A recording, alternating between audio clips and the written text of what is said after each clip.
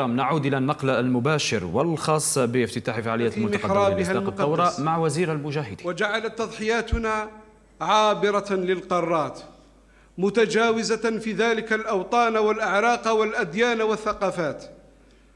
وحملتكم على التجاوب والإسهام بجهودكم الفعالة والمغامرة بحياتكم من أجل قداسة الحرية والكرامة التي ينشدها الإنسان.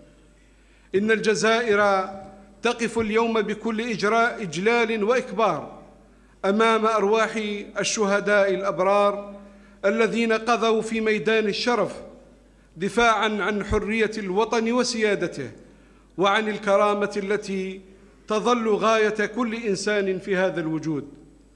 إن الجزائر لا تنسى فضلكم والتزامكم الثابت في هذا المسعى النبيل. ذلك أن الجزائر التي اكتوت بالأمس بنيران الظلم والطغيان وعانى شعبها المكافح من الظلم والاستبداد تأخذ اليوم على عاتقها استكمال رسالة الشهداء في دعم كل الشعوب المناهضة للاستعمار. وتبقى وإياكم بما ورثته من تقاليد أسلافها وبما يمليه الضمير الإنساني الحر.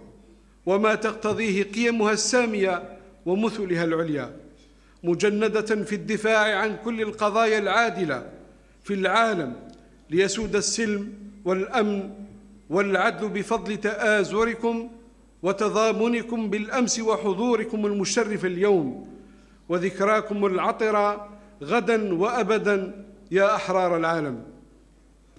الأوفياء لحبيبتكم الجزائر الغالية وشعبها الكريم الأبي الذي يكن لكم صادق العرفان وخالص الامتنان وهو فخور بكم على الدوام. عاشت الجزائر حرة مزدهرة وعاش أصدقاؤها منعمين بالصحة والعافية والمجد والخلود لشهدائنا الأبرار.